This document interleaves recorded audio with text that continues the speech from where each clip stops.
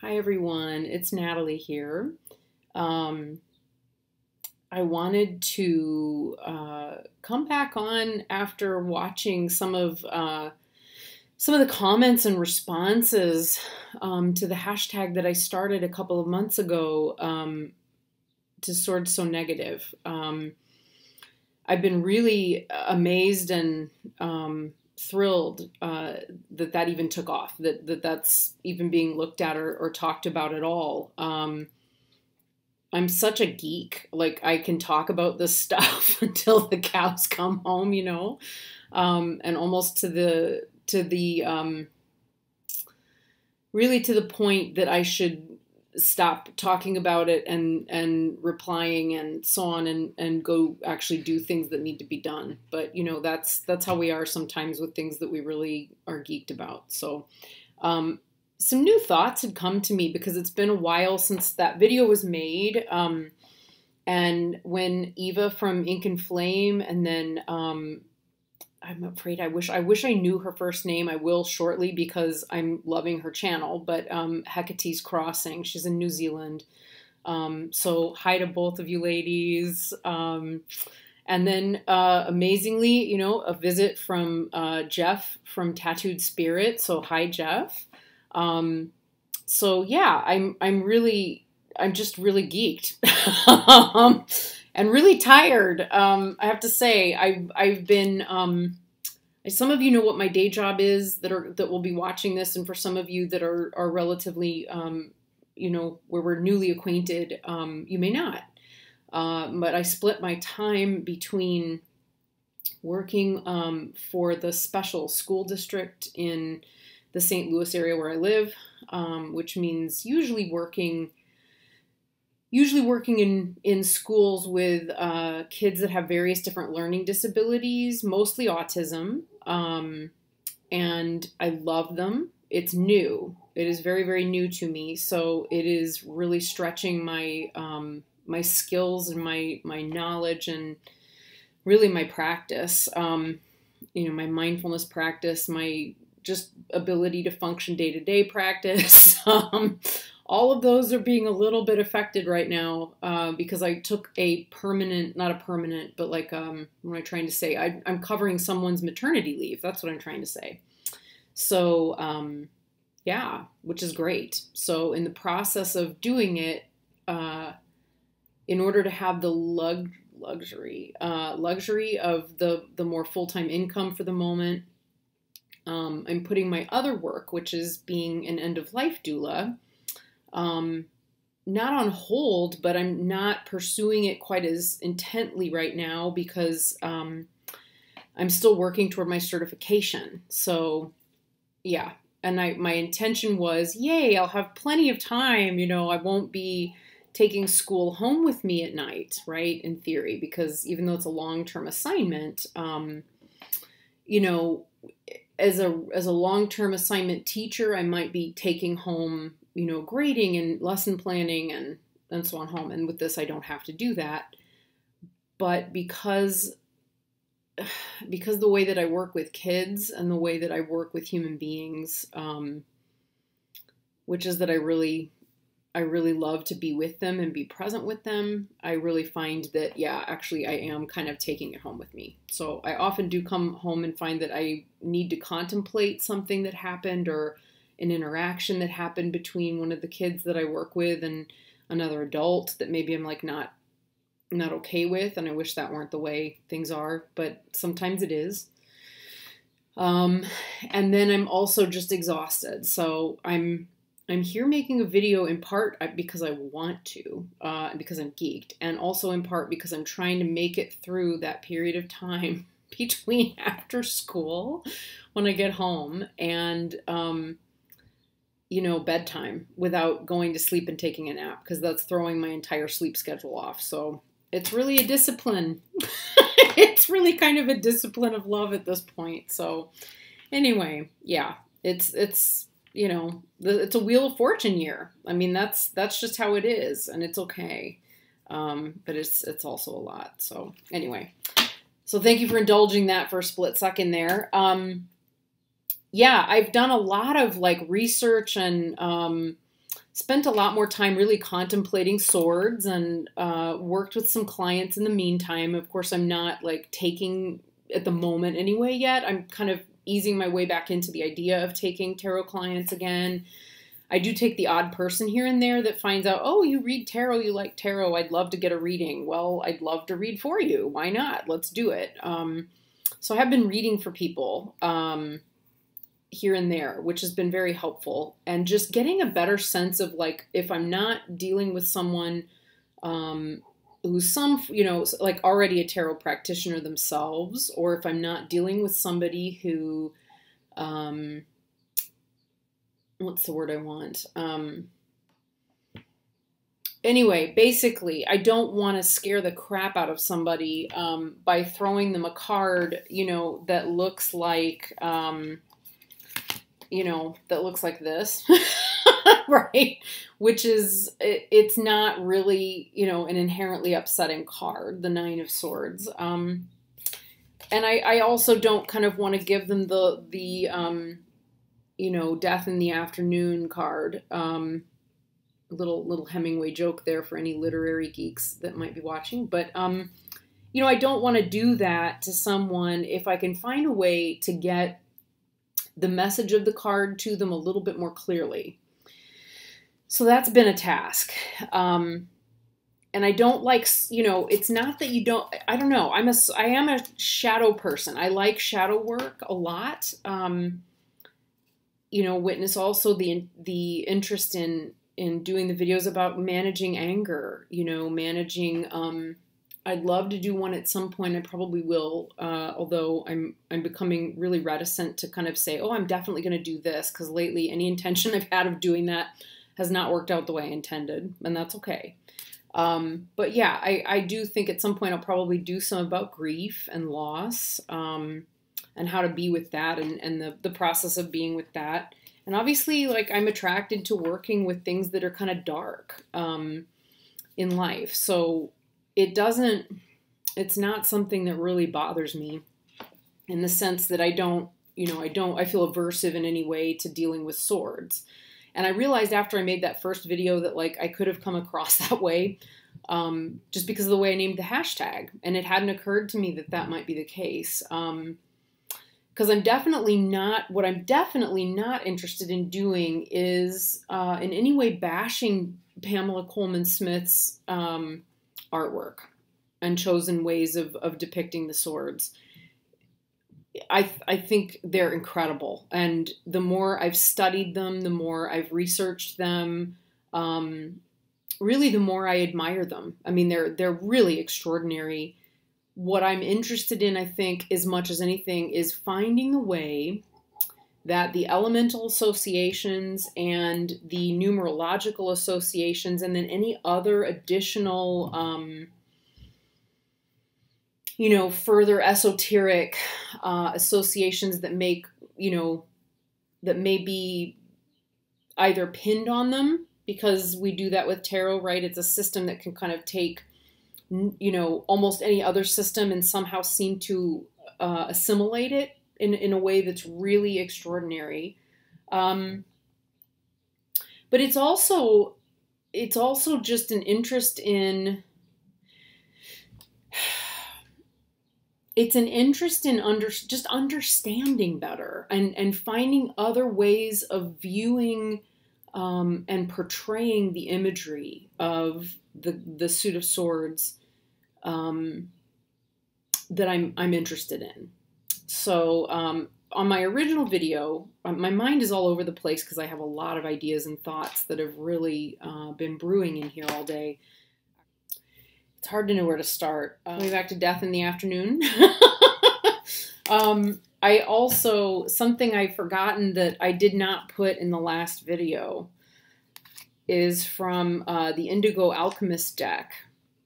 And it's this Ten of Swords. And I really love this depiction of the Ten of Swords because I'm trying to see if I can get this to focus a little more happily without, there we go. Um, you can see here that these swords that make up this ladder also contain the whole universe.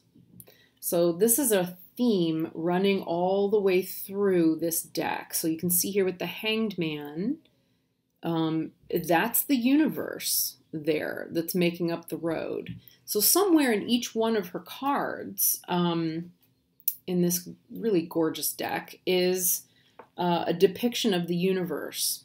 And in this one, you know, as far as I'm concerned, when I get the Ten of Swords in a reading, and I have had it a few times recently, and believe me, if I were to share my whole personal, life, you know, personal professional life, there would be a lot of really good reasons that it will would be showing up for real.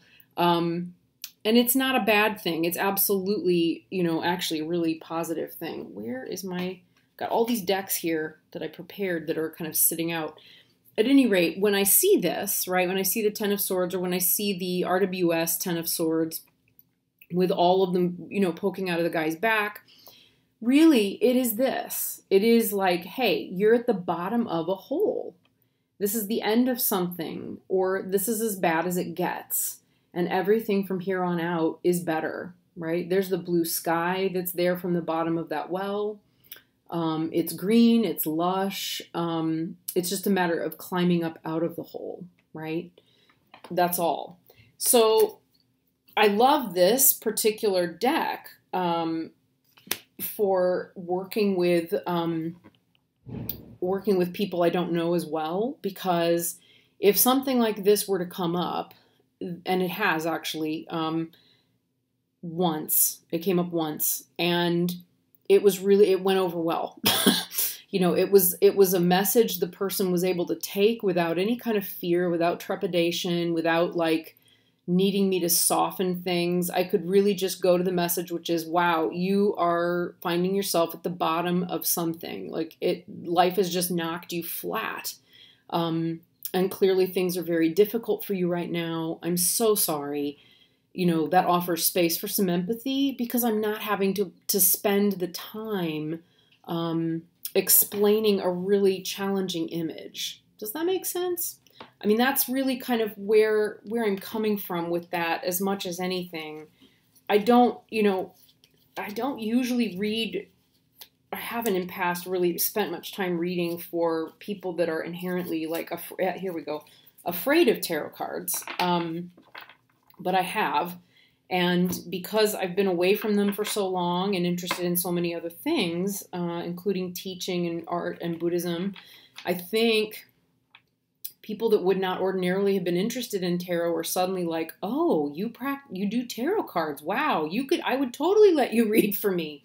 Which is great. And I don't because of the relationships that I have with some of these folks, the last thing I want to do um, is put them in a position, even though I think they probably could handle it, actually, and probably would trust me to handle it. But I don't want to complicate, I guess, um, an already potentially challenging message with something like this.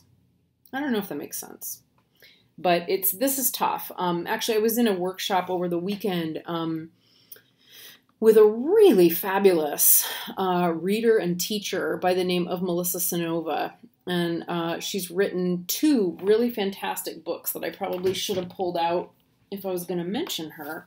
Um, her first book, which many of you may be familiar with, is Kitchen Table Tarot. And there's her name, Melissa Cynova. And her other book, um, which is her new one, Tarot Elements. And um, I think Benebell, it was Benebell Wen just did a, a um, video last weekend. I think it was on Saturday, actually, the same day, um, for a uh, a reading that's in here um, to balance out water. You know, a cups reading to really balance out water. Um, and it was beautiful. It was, she really gave such a charming endorsement that was really heartfelt. Um, and then when I showed up, I said, "Oh, hey, did you know that? did you see that Benebell did a video um, and featured one of you know one of your your spreads from from the book?" And she was like, "Oh, she would. You know, she's a great person." It was just really cool. It's a very small. This is a small world. You know, the the tarot community is really quite small. Um, it's very humbling to be part of it, uh, and really a, a great honor. Um, something though that that she had said was when when we were talking about this card was when she has this one come up in a reading, and I tend to agree. Um, it's usually that like different factors in a person's life, you know, things that are going on with them that are really tough, really difficult, really painful. Um, they're coming from outside. They're not something that's happening inside your own mind. I mean, the, nobody can stab themselves in the back like this, right? Um, this is not how, this just isn't the way of things. It comes from somewhere else. Other people stab us in the back. Conditions metaphorically stab us in the back um, and knock us flat. Um, and as Jeff pointed out last night, and then Melissa also had pointed this out, if you can see the way that his hand is, um, it's in the uh, gesture, it's in the same gesture as the Hierophant, and it's a blessing. It's a blessing, um, which is really beautiful, you know. So it's it's a way of taking taking the swords that that are um, that are handed to you and finding a way to be blessed, just you know, regardless of that you know, and and to find a way forward regardless of of what life hands you. However, the truth and the reality is that if somebody is having this come up, um, it's because everything in their life probably went to shit. Uh, and has has really been difficult. Certainly for me, that's that's definitely the case. You know, lot watching a lot of um, just a lot of changes, a lot of difficult things that have come up. Um, you know, this one came up a lot around some betrayal last fall that took place um, with someone I thought I knew very well uh, and was really shocked by. So, you know, this is this is not a card that's you know comes easily, but Melissa pointed out um, usually that's the worst that it gets. You know, that is that is the moment that is uh, you know, it can't you can't go any lower. clear, you know, to be clear, you can't get it any lower than this. Um, and the only way out, you know, the only way is up. Really, you know, everything everything looks up from here. So I really, I, I that's really why I like this depiction. I feel like it's it's a very um, it's truthful. It doesn't really deviate too far away from um, the meaning, you know, or the yeah, I think so. The meaning in this one. I mean, I guess somebody could get themselves down a hole like this, right? We could we could throw ourselves down a hole like this. Um, whereas this one carries a definite sense that this person could never have done this to themselves. This has just been the conditions of of their lives for a while. You know, something that she mentioned was, um, you know, people being um, encountering with just uh, you know but just awful betrayals um, deaths lots of deaths illness um, deceit people uh, turn literally turning on them and stabbing them in the back or you know metaphorically being thrown under the bus um, being cheated on by a spouse things like that. You know those kinds of things. Um, and you know whereas you know, with the nine of wands, right, this guy is waiting for the next thing, right? This guy is in a place where, you know, what's next? I everything everything has come down on me. It has been so awful and so rough. What's the next thing? Just bring it on because I'm ready to take it and I'm ready to cope with it, right? So that's really where this guy's coming from. But by the time you get to this place, um, in the swords, it's already come. It's come and gone and it's knocked you flat. So yeah, that's um that's where that one's coming from. Something else, let's see. Something well, it's probably for another video. Yeah, I think I'll save that part for another video. It's uh, there's some more RWS things I want to geek on, but we can't geek on everything. we can't geek on everything in one video, right? Um, sometimes it's helpful to spread these things out. So, with that said, yes, I think sometimes it is better to spread things out into more than one video. And for the sake of my time, your time, uploading time. I'm going to uh, cut and paste this video just a little bit and add some interjections like the one I just made and put in as I was just kind of going back through the video and editing. Um, yeah, so we'll leave those for another day. I have a lot of other stuff I can show you and further ruminations that I'm really super excited to share, uh, but which, I again, I will save for another time. So thank you so much for watching, everybody, and I really look forward to continuing to engage um, anyone who's interested in this topic and in terms of just looking at it, discussing it, and geeking further together. So thank you so much for watching, and thank you for being here. All right, take care. Bye.